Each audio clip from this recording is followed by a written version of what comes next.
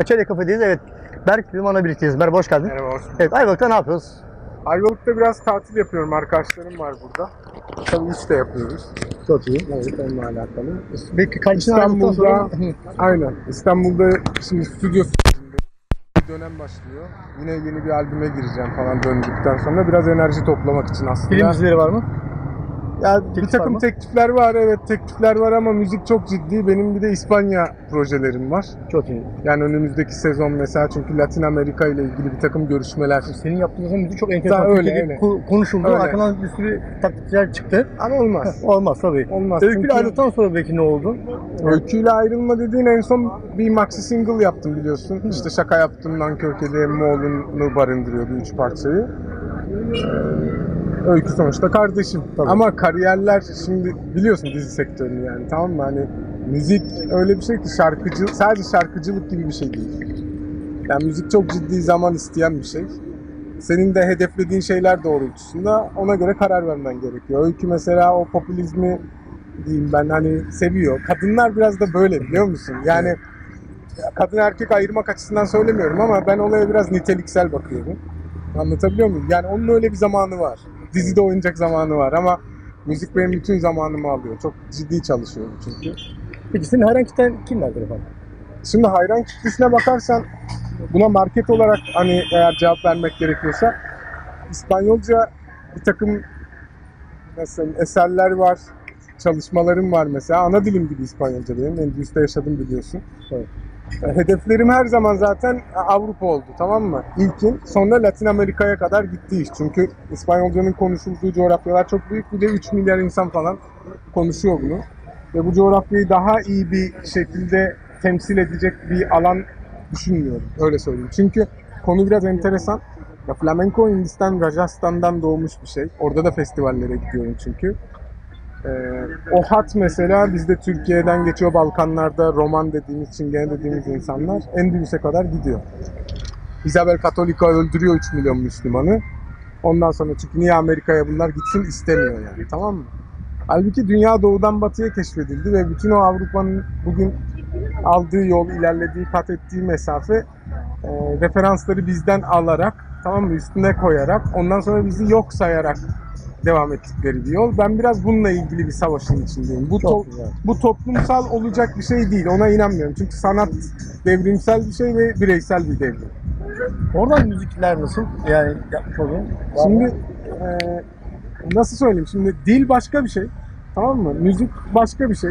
Flamenco benim için işte hep her yerde söylüyorum işte. Nedir? Davut Sulari, Neşet Ertaş, Bergen, Müslüm Gürses, İbrahim Tatlıses. Dışarıda bir Kibariye. şarkı söylediği zaman Vokal olarak. bakılıyor? Yani çok iyi. Çünkü neden biliyor musun? Ben onlara İspanyol flamenkosu satmıyorum. Ben Selanik türküsü okuyorum, ben Bozlak okuyorum, dönüyorum oradan işte rahmetli Kaya'nın eserlerini sevdiğim eserler var mesela. Yani müziğe bakış açım o, o bir şey, kimya. Yani onu hissettiğin zaman diyorsun ki oley. Yani bu flamenko tamam? Bu dinlediğim şey. Mesela Yusuf Ayaloğlu, Nankör Kedi'nin biliyorsun eserin sahibi. Keza Ferdi abi Tayfur, Emmoğlu. Yani eserleri seçerken coğrafya coğrafya, Adana mesela Fellah zaten Mengu Flamenco Hmm. biraz o, o kelime kökeni olarak o, orayla alakalı da bir durum var. Ya hepsi çok detay. Araştırmacı Peki olursan şey çıktığı zaman, piyasaya çıktığı zaman dışarıya tanıyanlar var mı? tabii canım çok herhalde çok karakteristik bir durumum var. Çünkü benim öyle bir şeyim yok. Yani daha huzurlu bir şey. Durmak istemiyorsun. Anlatabiliyor Mesela özellikle gitarist arkadaşlar. Hani gitar gitara kendini adamış insanlar benim başka bir çizgide başka bir yolu kovaladığımın farkındalar. Çünkü ben popçu değilim, rockçı değilim. Anlatabiliyor muyum? Biz seni takip ediyoruz. Çok Evet. güzel müzikler yapıyorsun. Yani Sana süper gitarla o otantizmi yakalamak işte o da beni mutlu eden şey. Zaten kimse kimseye benzemesin. Değil mi? Yani herkes kendi olsun. Evlilik diye bir şey var mı? Boşandım ya. Biliyorsun evlenmiştim ben. Evet. Biraz Bir sancı, evet, evet evet. Yapmayı seviyorlar. Ellerinde öyle bir koz var. Ben de bekliyorum işte hükümetimiz yeni anayasayı düzenlerse Evet. falan yeni. Güzel, Çünkü evet. ben sadece benle ilgili değil bu. Yani bir dernek var mesela İstanbul'da benim onların basın yüzü olmamı falan talep ettiler. Seslerini duyurabilmek için. Çok insan mağdur yani bu nafaka mevzusuyla alakalı. İnşallah düzelir. bir Yeni sürü nesil çıkar. hayatı engelliyor. Yani adam mesela yeni bir evlilik yapmış tamam mı? O şeyin varlığını hissetmek istemiyor mesela tamam mı? O bitmiş, geçmiş de mesela bırak. Çünkü kimse SSK değil anladın mı? Yani bireysel olarak adama sırtını dayamam. Ben bir evlilik yaptım çocuğum falan da yok ama öyle bir karara mesela hükmetmişlerdi. E, Boynumuz kıldan ince sonuçta hukuk Peki ama efendim. adaletin adalete güven olmadığı yerde huzur olmuyor onu biliyorum yani. Yani bizim toparlanmamız gerekiyor. A- acilen bir takım reformlar. Yeni bir sürece uyanıyor Türkiye. Şu anda yalnız başına ve gerçeğiyle yüzleşiyor Türkiye. Efendim peki Ayvalık'a bakıldığı zaman dışarıda Ayvalık nasıl gözüküyor? Ayvalık. Ya nasıl Ay- görüyorsunuz? Yani? Şimdi bu işte Burhaniye olsun, Ören olsun, Dikili, İzmir yani komple Körfez'den bahsediyorum. Yani Altınoluk, Akçay, işte Assos, Çanakkale'ye kadar olan kesin benim çocukluğumdan beri içinde bulunduğum bir şey. Yani dünyada daha güzel bir e, şey olduğunu, iklime sahip bir yer olduğunu düşünmüyorum. Evet, tamam, Ege benim- Denizi'ni o kadar seviyorum ki Akdeniz'e tercih ediyorum Ege'yi yani.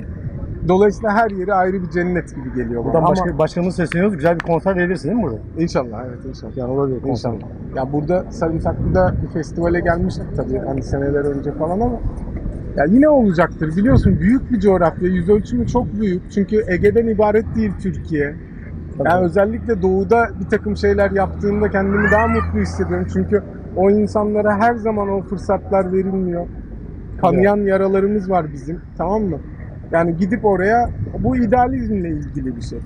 Yani ben küçücük çocukların hayatlarının değiştiğini gördüm yani tamam mı? Çünkü bir sazla tanışırsın ve başka biri olursun veyahut kendini bulursun yani öyle diyeyim. Doğu Anadolu'da veya Güneydoğu'da, e, İç Anadolu'da yani müzik açışı bakış açısı nasıl? Siz o eğitiminizin yani. Şimdi buradan dediğim gibi Şimdi farklı- her coğrafyanın her coğrafyanın insanının kendine ait bir e, şeyi var. Ne, ne denir buna? Kumaşı var diyelim. Tamam mı? Çünkü sen mesela işte Urfa doğumlusundur.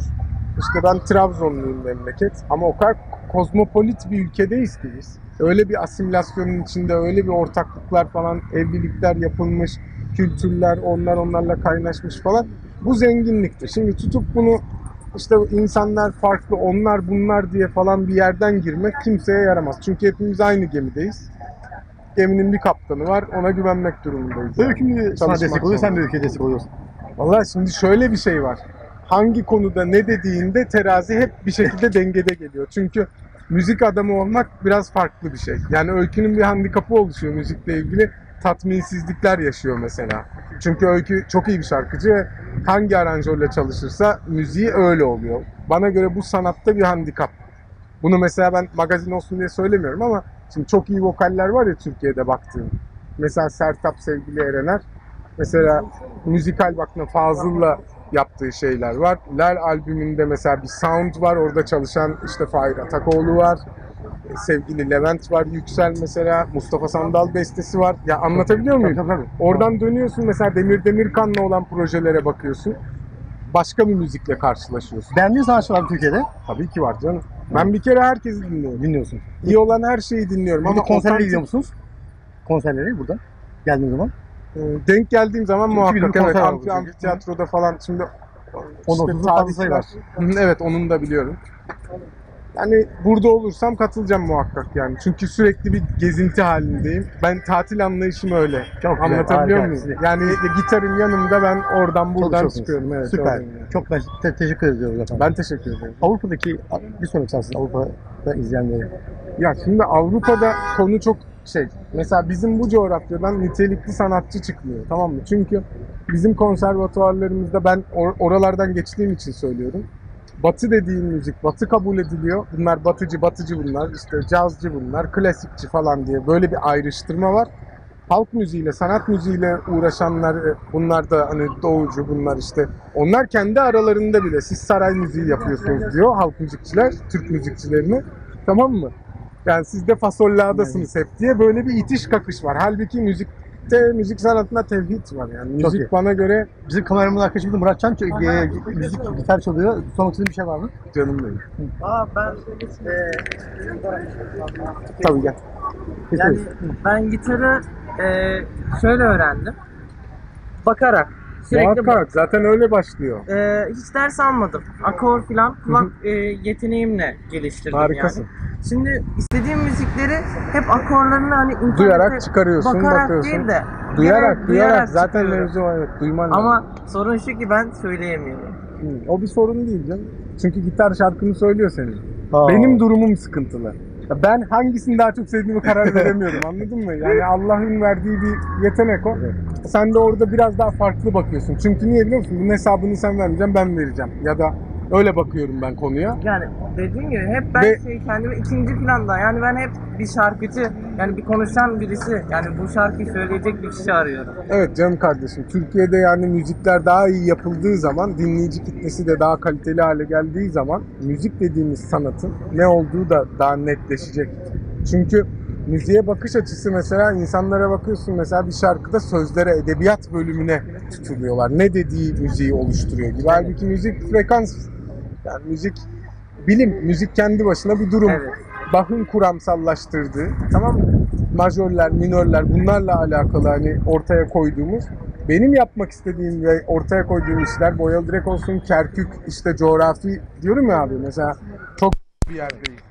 Şimdi mesela ben okullarda bunların handikaplarını yaşadım. Demin anlatmak istediğim şey de buydu. Mesela diyorsun ki ben şu türküyü okumak istiyorum, bu türküyü hissediyorum. Hani o bağlamayla çalınıyor gibi bir kafa yapılarında bir sıkıntı var ya mesela müziği ayrıştıramayız yani müziği bir yere konumlandıramayız ama şunu biliyorum ben ne yaparsam yapayım flamenco çıkacak bu benden çünkü Canlı yayınız.